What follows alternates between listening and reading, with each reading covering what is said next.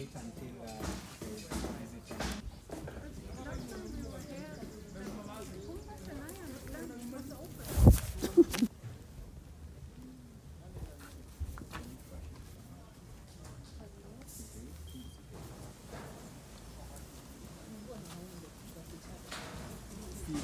uh,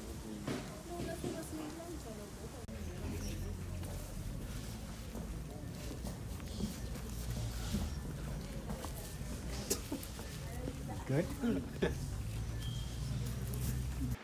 Wiry.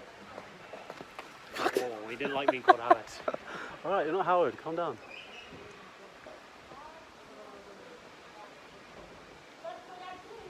it's very aggressive.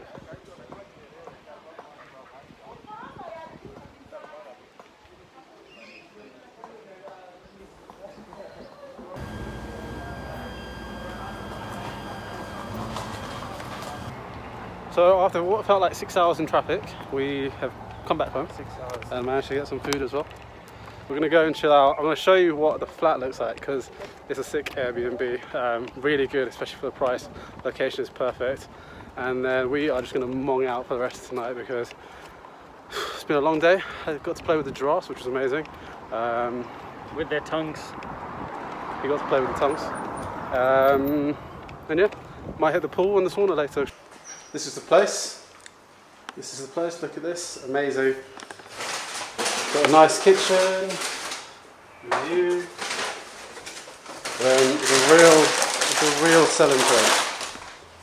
The real selling point of this apartment. Just check out this view.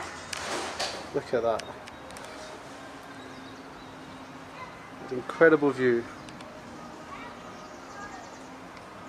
Got a pool down there.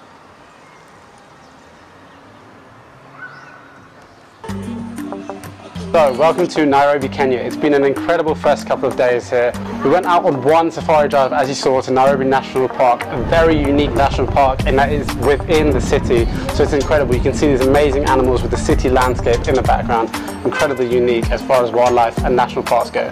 So we are here about to embark on an incredible expedition with a very special person who you'll meet in the next video. He's going to be taking us around all the top spots in Kenya, and we're going to be documenting some incredible animal stories. For the next couple of days while we're in Nairobi, we're just going to be testing out our equipment before we head out into the bush to make sure everything works. So join us along for this vlog series. I'm going to take you along for the ride to all the national parks. We're going to go to Mount Kenya and even do some diving on the coast. For now though, we're just going to sit back, have a couple of drinks and enjoy this beautiful sunset.